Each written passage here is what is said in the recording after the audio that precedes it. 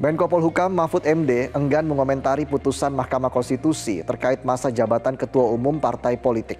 Sebelumnya Mahkamah Konstitusi menerima permohonan uji material Undang-Undang Nomor 2 Tahun 2011 tentang partai politik untuk membatasi masa kepemimpinan Ketua Umum Partai Politik.